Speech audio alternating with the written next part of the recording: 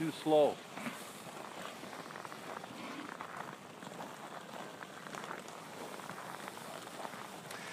I would say you pull the trigger on these right away, my friend. Before they get too heavy.